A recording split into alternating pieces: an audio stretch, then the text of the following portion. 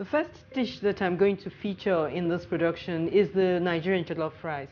The Nigerian jollof rice is the primary or the premier uh, party food uh, in, in Nigeria. And it, it is a dish that has expression in various culinary, uh, culinary cultures. Uh, it's called pilau rice in India, uh, culinary culture. It's called paella uh, in, amongst the Spanish. It's called polof amongst the Russian. And in Nigeria, it's called the um, jollof rice. And it is the progenitor of the African American jambalaya. Now, I'm anxious to start cooking, and uh, I have here uh, a medium-sized pot, and I'm just going to tip my cooking uh, oil into it. You can use any type of uh, vegetable uh, cooking oil that uh, you prefer, but on this occasion, I'm just using sunflower oil. And then I'm just going to tip my rice into, into the oil. And after I've tipped in the rice, I now put in uh, the chopped onions. This is uh, a medium-sized um, onions, and um, I find that onions works brilliantly uh, with with rice. Next, I'm going to crumble two vegetable uh, stock uh, cubes into the contents of the pot, and then I just add two level spoons, dessert spoons of, of salt. I then stir. I think I will increase the heat slightly just to get it going.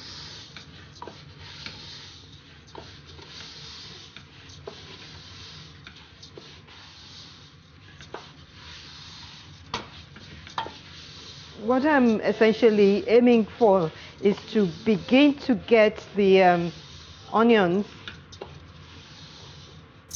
to brown and for the flavor of the onions to be infused into um, the grains of rice, into the rice. So the next thing for me to do is just to put uh, roughly a liter uh, of 1.5 liters of warm water into the pot.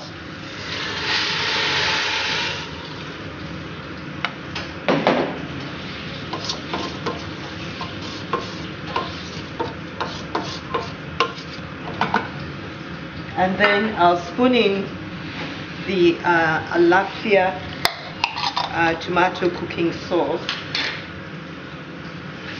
I'm just going to use roughly half the content of this jar. I'm not going to use uh, the entire content of the jar. I'm just going to use roughly three quarters of it. And then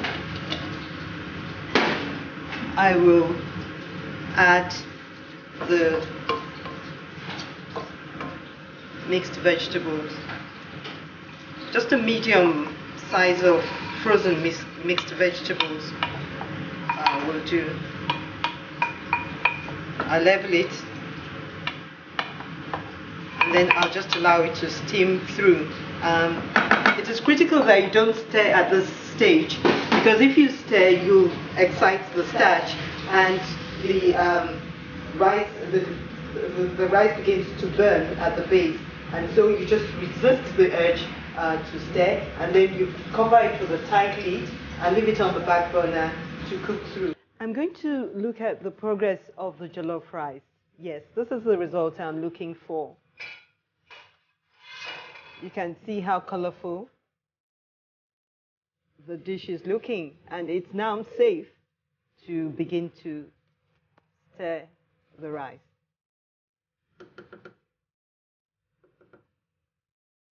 I'm very pleased with this. I'll just put this aside and go on to the next